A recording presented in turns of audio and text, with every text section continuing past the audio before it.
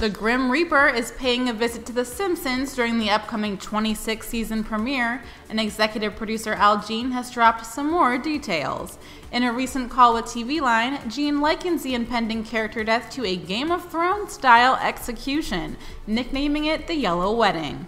The character that dies is portrayed by an actor who won an Emmy for playing that character, he reiterates. In response to previous rumors, Jean says, I'd like to say it's a great character, but I never used the word iconic.